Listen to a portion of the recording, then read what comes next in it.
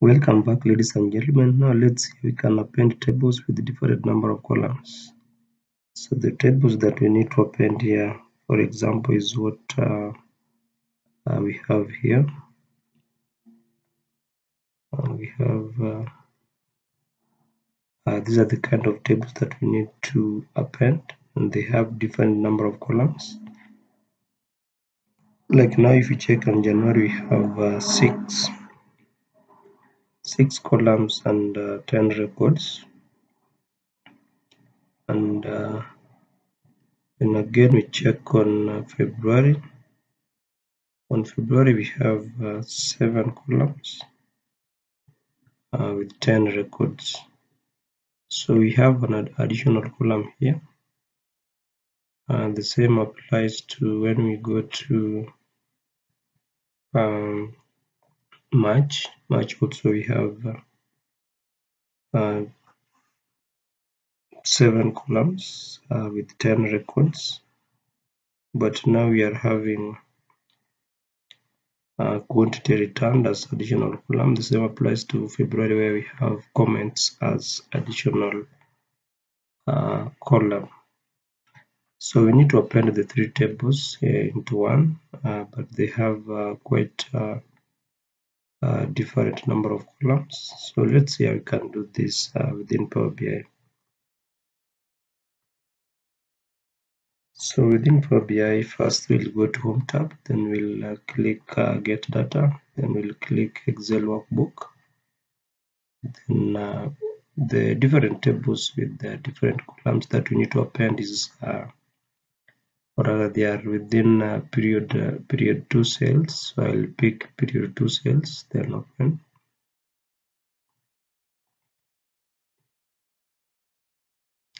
then for me I need to choose uh, the tables that I need to append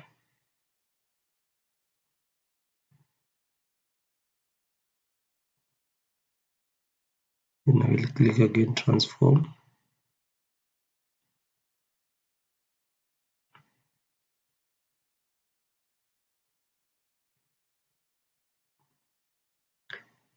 and then from here now I need to append uh, the three queries. So what I will do uh, like the way we did with the previous uh, video where we appended the the three uh, queries with the same number of columns we'll just go to uh, the combine function. Then I will click on append queries. Then I will choose the append queries as one then I will choose three or more tables because we have uh, more than three queries more than two queries. Then I will again uh, I choose uh, February and January and add two tables to append. And then I'll click OK. So really now we have a appended table. So we can sort the date in terms of ascending order and then you can also rename the table to Jan March sales. And then when we check on the columns uh, uh, within our query that has been appended uh, right hand side we have uh, uh, two columns uh, with quantity returned and comments so where there's no values for quantity returned, we have null.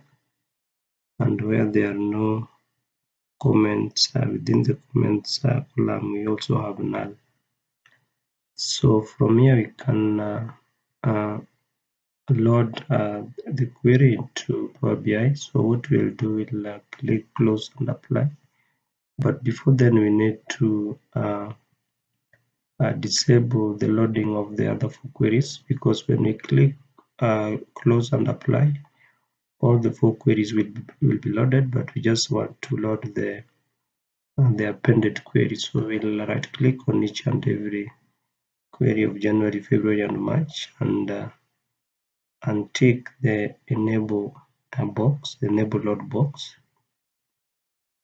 Okay and then from here now we can uh, click on close and apply so that we can load uh, the appended uh, query to Power BI.